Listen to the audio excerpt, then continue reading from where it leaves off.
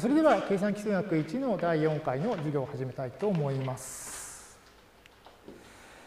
えー、と前回のまとめです。前回はと次のようなことをやっておりました。まずあの符号なし多倍調整数の表現、それからあの CPU のレジスターの機能の紹介、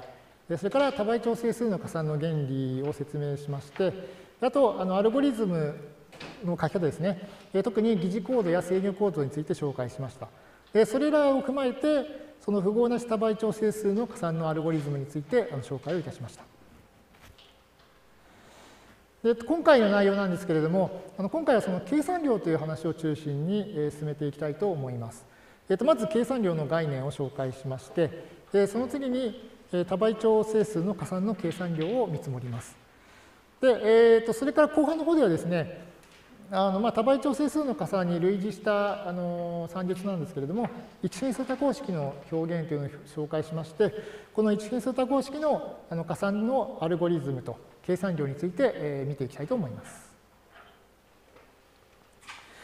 それではまずあの計算量の話から入りたいと思います。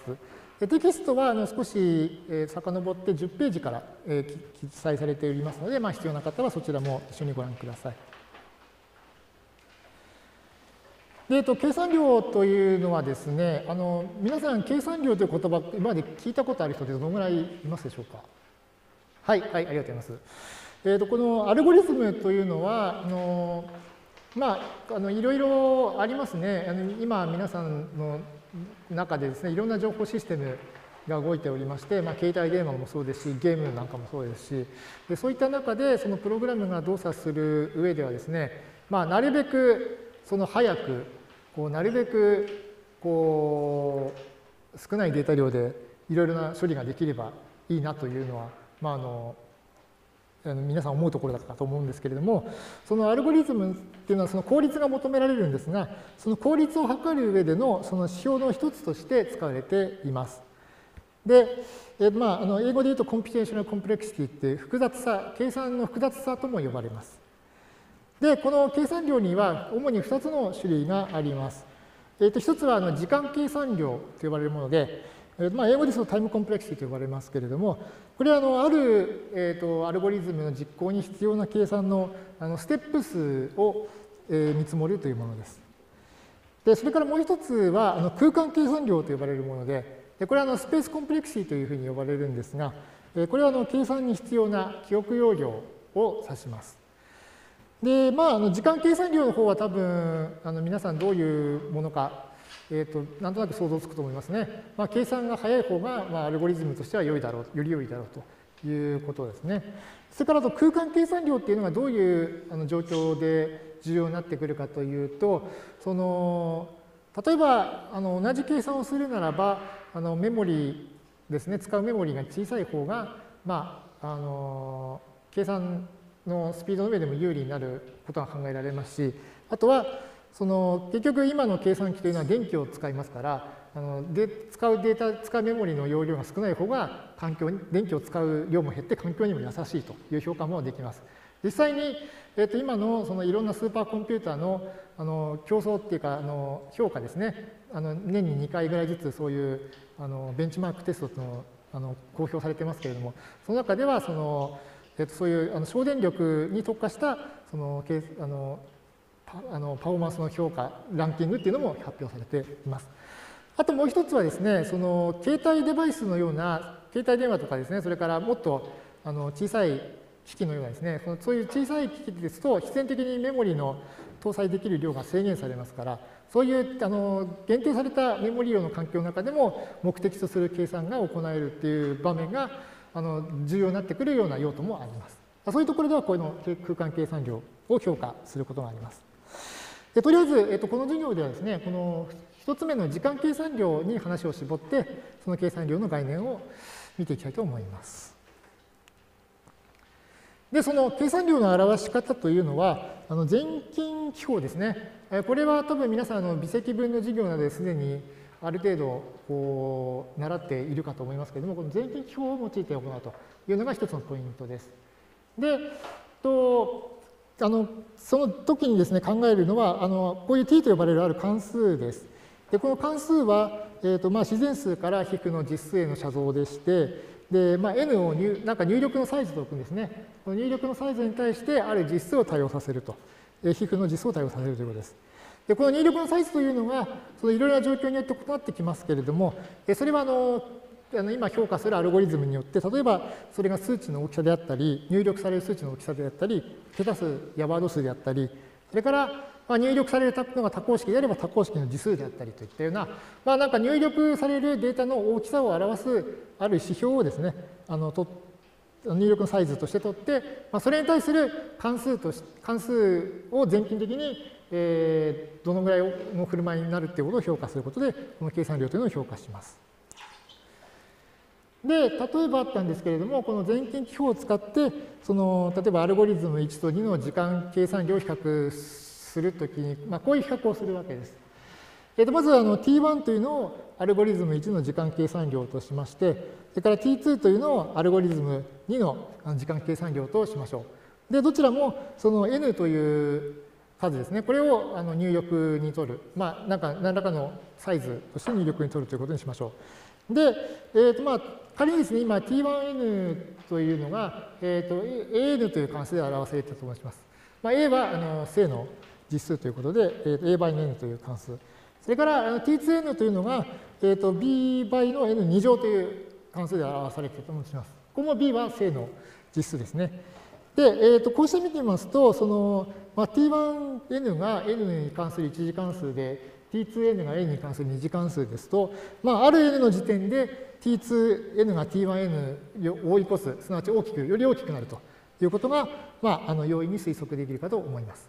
まあ、こういう形でそのうんとまあ全近的に n がどんどん大きくなるときにそそれぞれのあの計算量を表す関数がどういう振る舞いを見せるか、えー、そその要素を見積もるというのが、まあ、この計算量の比較です。でまあ、あの他のあの関数の例としましては例えば、えーと、t3n に表したようにその c の n 乗と呼ばれるまあ指数関数ですとかそれから今 t4n に表したように、えー、と d×log_n っていうような対数関数を使ったあの計算量の表し方もできる場合があります。ここまでよろしいでしょうか。さて、えー、その全近記法なんですが、えー、と一応、まあ、計算機科学でですね、よく使われる全近記法、あの5種類紹介しておきます。まあ、それぞれ、そのうちのいくつかは皆さんすでに数学で学んでいるものです。えー、と上から順番に、えー、とラジオ、えー、これはあの全近的上階と呼ばれるものですね。で次に2つ目がスモール O。で、えー、と3つ目がラジオメガ。えー、これは全近的加階と呼ばれるものです。で、えー、と4つ目がラージシータ。で、えー、と5つ目がスモールオメガ。まあ、一応以上の5つを紹介しておきます。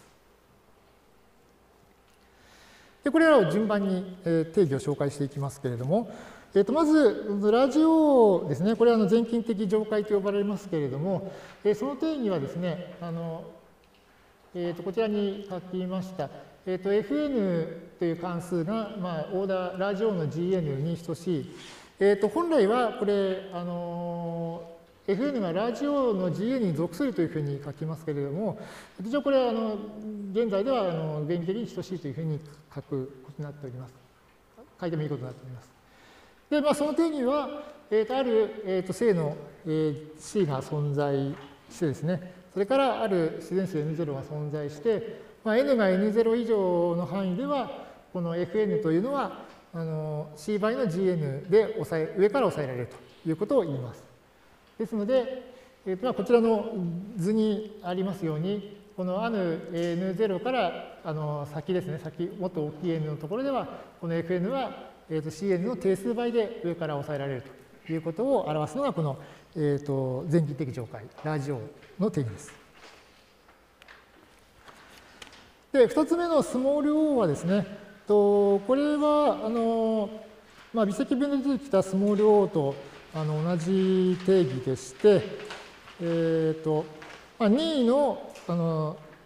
C 実数、正の実数に対してある自然数 N0 が存在して、えー、と N0 が N, N が N0 以上ならば、その Fn はあの Gn の C 倍で上から抑えられると。すなわち gn 分の fn で、えー、と n をどんどん大きくしていくと gn 分の fn が0にどんどん近づきますよと、まあ、そういう定義となっております。で、3つ目のあのラージオメガですね。これがあの全近的、えー、破壊と呼ばれるものでして、でこれは先ほどのそのラジオのと押さえ方が逆になってるんですね。とえー、と Fn があの Gn のラージオメガに等しいとは、ある実数、正の実数 C が存在して、えそれからある自然数 N0 が存在して、で、N が N0 以上ならば、その、えー、と Fn がですね、C 倍の Gn で下から、今度は下から抑えられるということになりますね。Fn と C 倍の Gn のあの代償関係がその電気的上階とは逆で、今度は破壊で下から抑えるということに注意してください。で4つ目のあのラージシーターはですね、これはあの実は先ほど説明した全近的上階のラジオと全近的破壊の、えーと、ラジオメガをですね、あの同時に満たす、えーと上つまあ、上と下の両方から抑えるというあの評価です。で、えー、と Fn があの Gn のラージシーターに等しいとは、えーと今度はですね C1 と C2 という2つのあの正の実数が存在するんですけれども、あと、えー、自然数 N0 が存在して、で、えー、と N が N0 以上ならば、その Fn というのは、えー、と上からは、あ下から、下からは C1 倍の Gn、それから上からは C2 倍の Gn で、あの同時に上と下から抑えられるということを言います。で、最後に、えーと、スモールオメガはですね、これはあの発散の方の定義なんですけれども、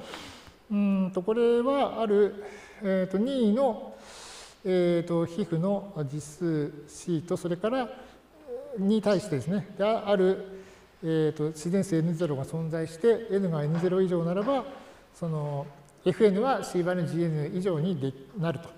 いうことを言っていて、これはまああの N をどんどん大きくしたときに、gn 分の fn が発散するということを意味しています。